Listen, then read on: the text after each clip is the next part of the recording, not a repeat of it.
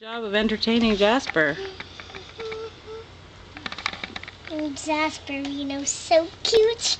Oh, Jasperino, Jasperino, oh, Jasperino. Jubilee, show me what else you did to entertain him. Line the toys up. Aw, and how many blankets did you put on him? Two. Oh, he's so warm and cozy. And you showed him your photo album too? Mm-hmm. There's photo albums right there. Oh, he's so happy to have a big sister like you. You're so good, Jubilee. Even if you are wearing devil horns. Don't make me worry about you now. Hey, I put this on him. Honey, I think two blankets is enough. I put on two of them.